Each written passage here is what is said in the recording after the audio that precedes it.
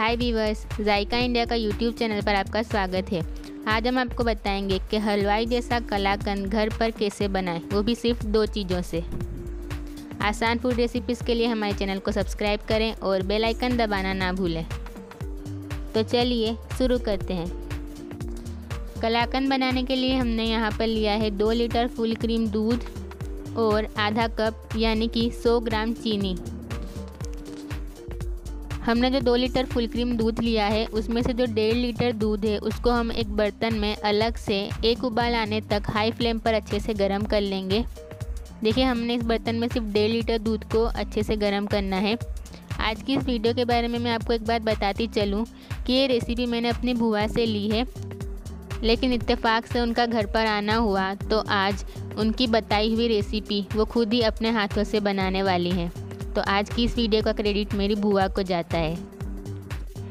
और बाकी का जो आधा लीटर दूध है, उसे एक दूसरे पैन में अलग से गर्म करेंगे। एक उबाल आने के बाद हम गैस की फ्लेम को लो कर देंगे और लो फ्लेम पर इसे तब तक पकाएँगे जब तक इसकी क्वांटिटी आधी ना हो जाए और बीच बीच में इसे चलाते भी रहेंगे ताकि जो दूध है वो नीचे ना लगे।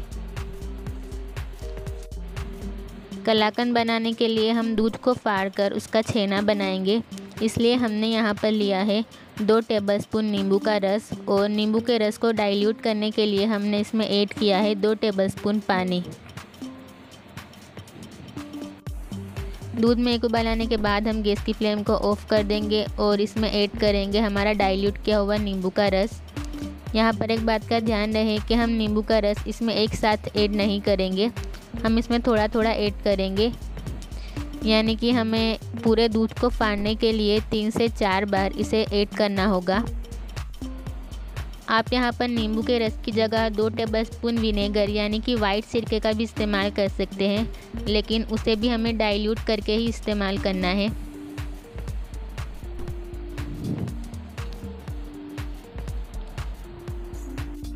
ये देखिए हमारा छेना बनकर बिल्कुल तैयार है। कलाकंद का जो छेना होता है, वो बिल्कुल सॉफ्ट होता है। इसलिए हम जो डाइल्यूट किया हुआ नींबू का रस ऐड करते हैं, उसे थोड़ा थोड़ा करके ऐड किया जाता है। अब हमें छेने को पानी से अलग करना है। इसलिए हम इस तरह के एक बोल पे छन्नी को रख कर इसको सूती के कपड़े से कवर कर लेंगे। जान रहे कि यहाँ पर हमें सूती का कपड़ा ही इस्तेमाल करना है। अब आहिस्ता से हमारे तैयार किए हुए छेने को इस तरह से हम इस पर ऐड करेंगे।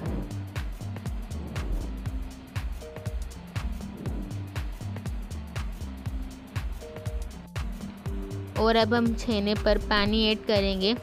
देखिए, यहाँ पर पानी ऐड करना बहुत ही ज़रूरी है।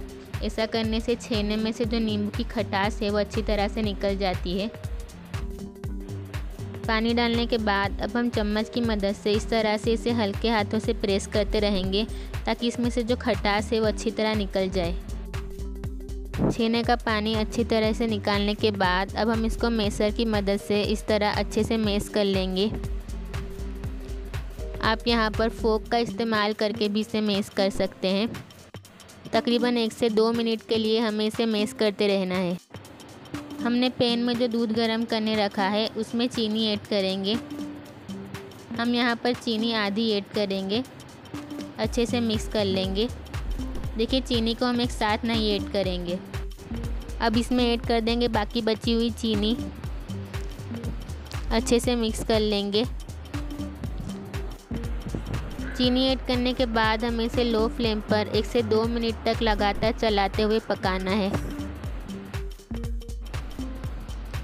अब गैस की फ्लेम को हाई कर देंगे और इसमें ऐड कर देंगे छेना। देखिए छेना ऐड करने के बाद हमें इसे लगातार चलाते हुए हाई फ्लेम पर अच्छे से पका लेना है। तकरीबन पाँच मिनट तक हमने इसे हाई फ्लेम पर लगातार चलाते हुए पकाया है। इसी के साथ हमारा कलाकंद बनकर तैयार है। अब हम गैस की फ्लेम को ऑफ़ कर देंगे। अब हम कलाकंद को इस तरह की एक प्लेट में ट्रांसफ़र कर लेंगे। देखिए, हमने इसे ठंडा नहीं किया। गैस की फ्लेम को ऑफ़ करने के बाद हम तुरंत ही इसे प्लेट में ट्रांसफ़र करेंगे और इस तरह से हल्के हाथों से इसको सेट करते रहेंगे। और अब इसे ड्राई फ्रूट से गार्निश कर लेंगे।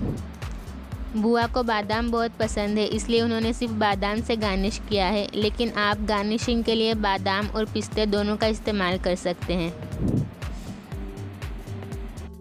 इसे अच्छी तरह से सेट करने के लिए डेढ़ से दो घंटों तक रूम टेम्परेचर पर रखेंगे।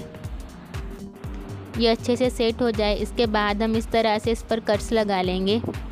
देखा आपने, हमने कितने आसान तरीके से सिर्फ़ दो चीज़ों का इस्तेमाल कर कर हलवाई जैसी कलाकंद घर पर बनाई। आप इस रेसिपी को अपने घर पर ज़रूर ट्राई कीजिएगा और कमेंट करके हमें ज़रूर बताएँ कि बुआ की बनाई हुई ये स्पेशल रेसिपी आपको कैसी लगी। अगर आपको हमारी वीडियो अच्छी लगी तो इसे लाइक और शेयर करें और ऐसी ही आसान रेसिपीज़ के लिए हमारे चैनल को सब्सक्राइब करके बेल आइकन दबाना ना भूलें।